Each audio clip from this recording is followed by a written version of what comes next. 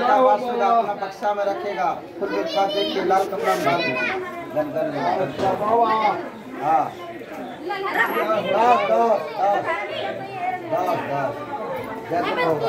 जाएगा हैं। में जाएगा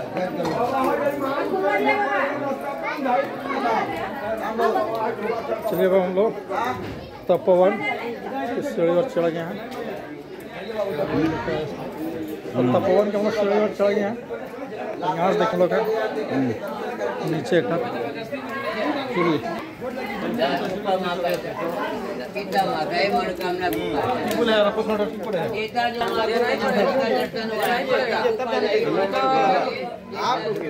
ये तो जाने दे हाँ अंदर में कौन बैठा। महाराज आप लोग झूठ बोलते बोल बम बाबू जी मेन मंदिर।